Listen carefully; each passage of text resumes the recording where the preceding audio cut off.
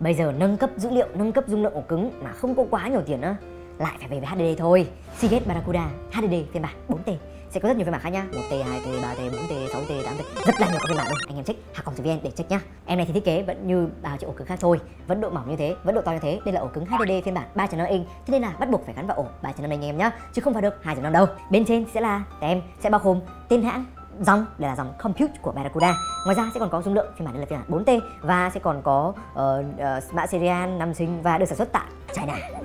Nằm bên dưới chúng ta sẽ không có gì nhiều cả ngoài bo mạch và sẽ có tem của TLC anh em bên trên đây sẽ là cổng kết nối SATA bao gồm nguồn SATA và dây SATA. Em này thì dung lượng 4T, chạy tốc độ cũng khá ổn áp bằng một nửa so với một chiếc SSD.